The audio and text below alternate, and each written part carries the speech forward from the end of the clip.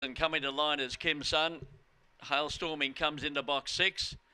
And they're all placed away now for the first event. Good free for all to kick it off. And the green light going through.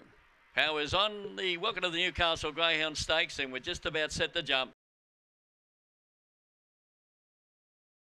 Out good on the inside, Blackjack Opal uh, going to the lead. Rip Masters the lead, Blackjack Opal, and led it by three lengths into the bagger. They were followed up on the outside by Kim Sana. Back over on the inside for no one. They were followed by Shimbu Parker. Now, good way back to Rusty Memories as they travel towards the turn of the Hailstorming, but Rip Masters slipped away. Rip Masters is going to be too good for Blackjack Opal. In third place, Rusty's Memory, Kim Sun for no one, Shimbu He just came out too good for them uh, over on the uh, the two box Rip Masters. Blackjack Opal was just held up a shade, and Rip Masters got the break and has been too good for them. By Spring Gun Crystal Jet and by the Lazy Boy Syndicate, manager D Keen and trained by Crystal Hensing.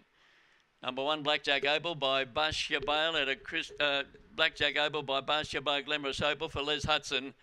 And number seven, Rusty Memories, Barcia Bale Midnight Capers for Mark Davison. Three lengths by three and three quarters. First split 11.30. 1165 and fourth home number four, Kim Sun.